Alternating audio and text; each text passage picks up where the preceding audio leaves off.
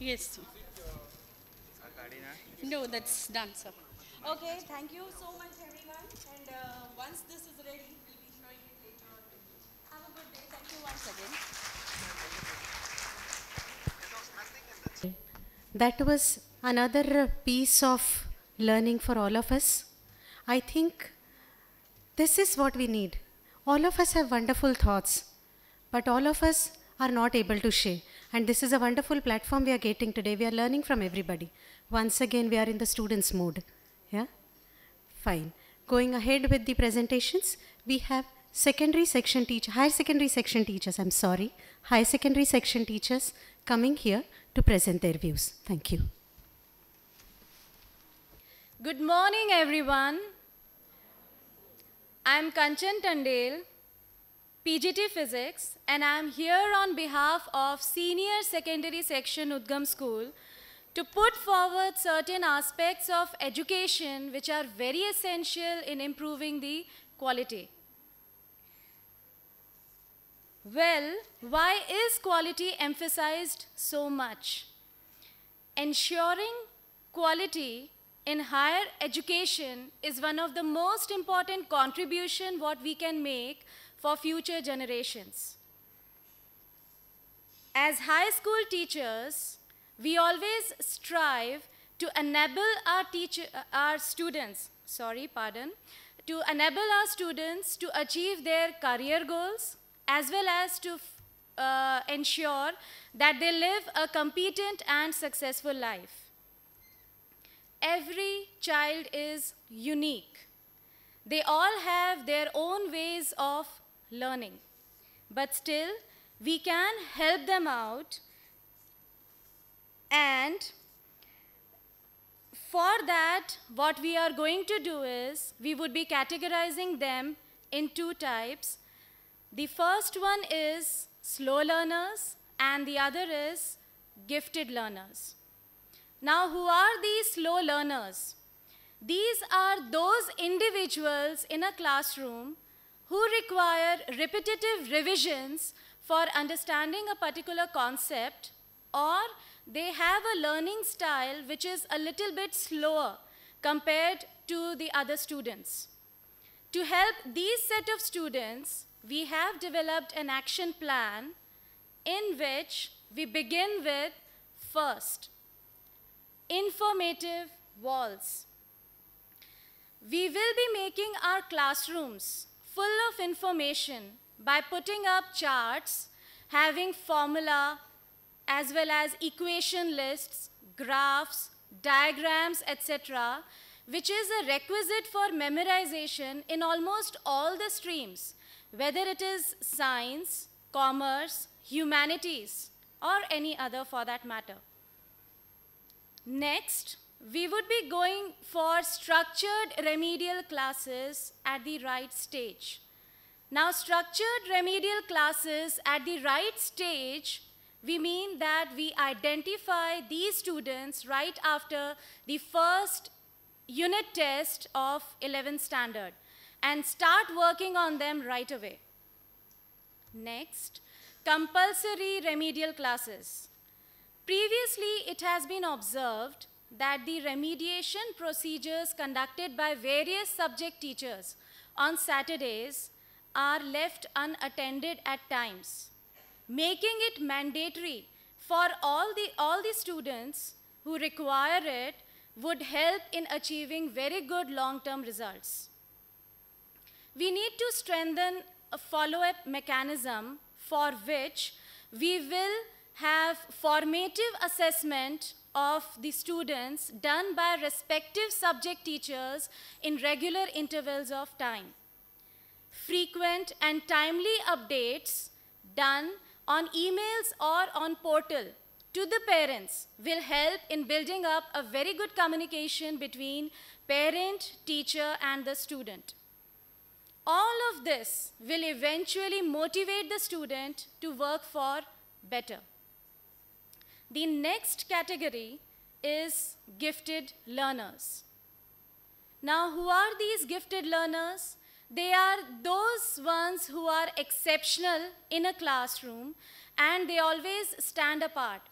they always show an added interest to go for an extra mile, and for them, we can have this action plan executed in which the first is peer learning. We will be channelizing the potential and energies of these learners to peer learning or group learning so that they can help others as well. And this will help in widening their horizons of knowledge as well. Next, acceptance of different methods to arrive at a particular result. Now, there are many instances, maybe it is science or commerce, wherein when you are solving a particular numerical, there are various methods in which that result can be achieved. Now, acceptance of that will not only boost the confidence of these students, but will motivate them to venture out new methodologies. Next, what we will be doing is uploading extra application and challenging worksheets, application-based and challenging worksheets on the portal to cater to the needs of these inquisitive minds. Besides all this, there is one more aspect which can be worked out for betterment, and that is enhancing library facility.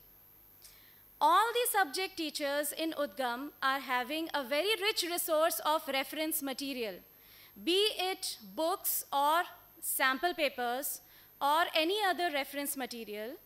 We will assemble all of them together to form a separate library for senior secondary students on third floor.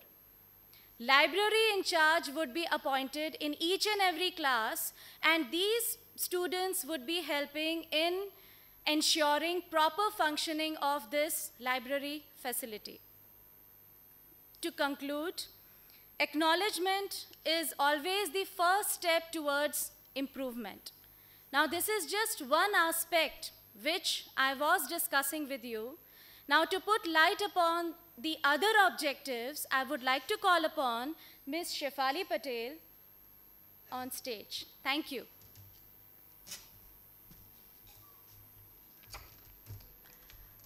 Thank you, Kanchan. Good morning to one and all. From academics, we move on to board examination.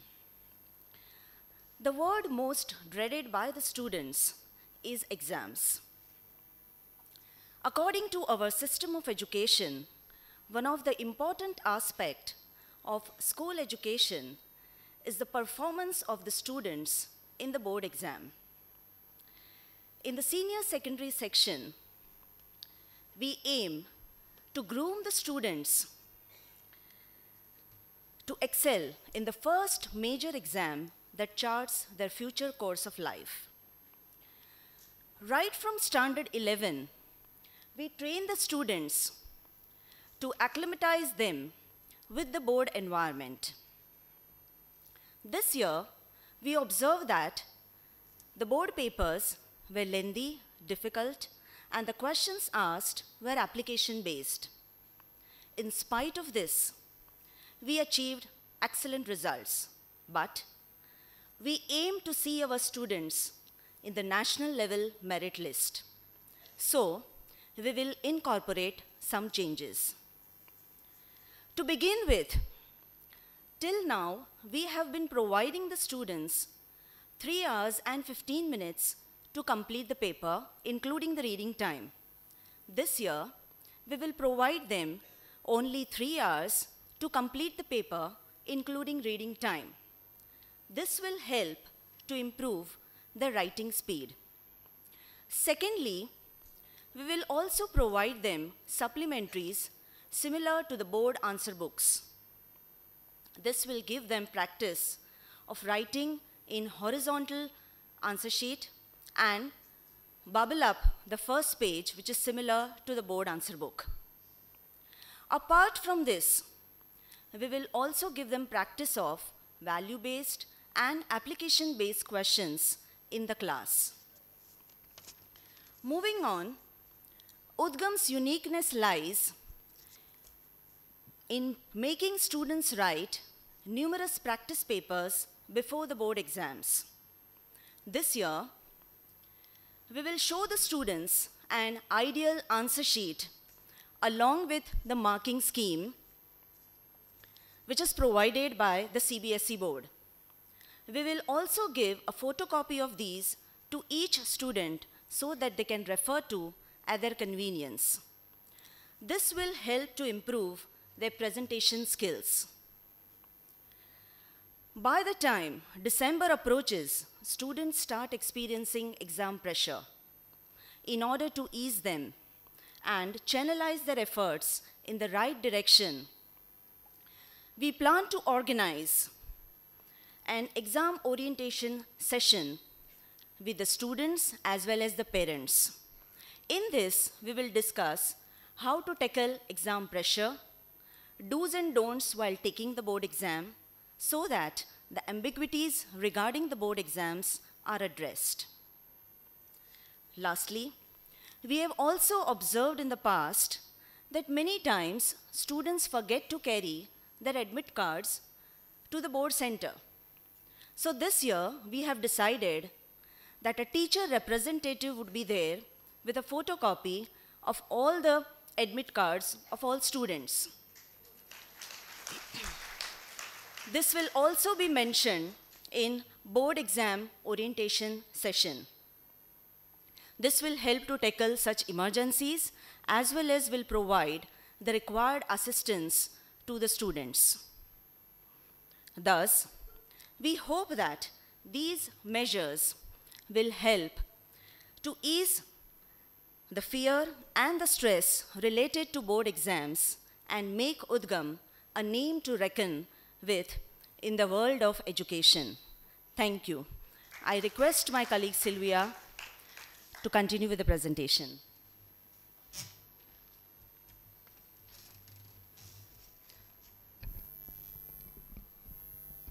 Thank you, ma'am. We've always heard that education should facilitate the overall development of a child, or that education is all about furthering the overall development of a child in order to prepare them for life. We just discussed a few vital aspects of education examinations and academics. We now move on to a few aspects beyond academics, which can help us to create a perfect atmosphere for the teaching learning process. I'm sure we all love appreciation, be it from family, friends, or our employers. Voltaire has rightly said that appreciation is a wonderful thing which makes what is excellent in others belong to you as well. At Udgam, we have always tried to appreciate our students with certificates, general assemblies, and regular updates on the school website. However, we also feel that a formal felicitation ceremony, once the board results are out, can really be a great morale booster. The felicitation ceremony can have our parents and students there, and also the felicitation ceremony could be awarding students who are toppers in academics, sports, and other extracurricular activities. Apart from this, we also feel that we should have a wall of fame right at the entrance of our school building. The wall of fame is a permanent list of our school toppers in academics every year, and this can also feature any achievements in national level sports. Know your system to make the most of it. A lot of our students come quite lost when they enter class 11th. They come in from a very overprotective CCE system and coming in and adjusting to the grueling routines of class 11th is really tough for them. Grade system to marking system. A part of the syllabus for the examination and the entire syllabus for the exams. To make them more comfortable for the class 11 session, We also plan to have an orientation for the parents and students of class 11th right at the beginning of the academic session. This will help them become more familiar to the exam system, the marking scheme, the subject, and the subject teachers. We would also like to throw light on the holistic development of children.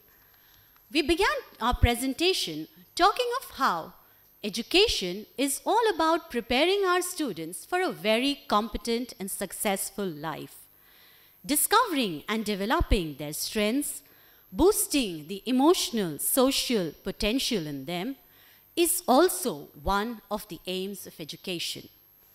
Arranging seminars, which aren't any advertisements of institutions, can really help our students a lot. Parents, teachers, and our alumni can volunteer to conduct these seminars. The seminars could be taken up on various topics like stress management, time management, health and nutrition, sex education, hobbies, career counseling, and any other relevant topic which can be beneficial for our students. Apart from this, we also feel that arranging for a talk by the senior students, wherein the senior students try and cater to all the queries related to exams and academics that their juniors have, could also prove quite beneficial. Moving further,